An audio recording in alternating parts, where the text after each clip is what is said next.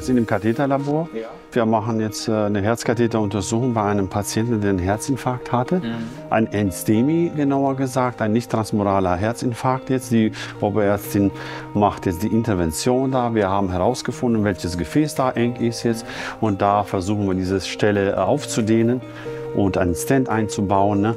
Das ist äh, eine der Optionen und der Arbeiten, die wir hier machen. Ne? Man kann ja hier klein anfangen und wirklich ganz groß wachsen und äh, ganz groß rauskommen. Ne? Man kann als Krankenpfleger die Ausbildung hier beginnen und bis zur äh, kardiologischen Ausbildung schaffen. Ne? Also alles in diesem Haus ist es möglich, sodass man am Ende als interventioneller Kardiologe auch hier tätig sein kann. Wir sind ein kleines Haus mit großem Herz und großer Wirkung. Ja.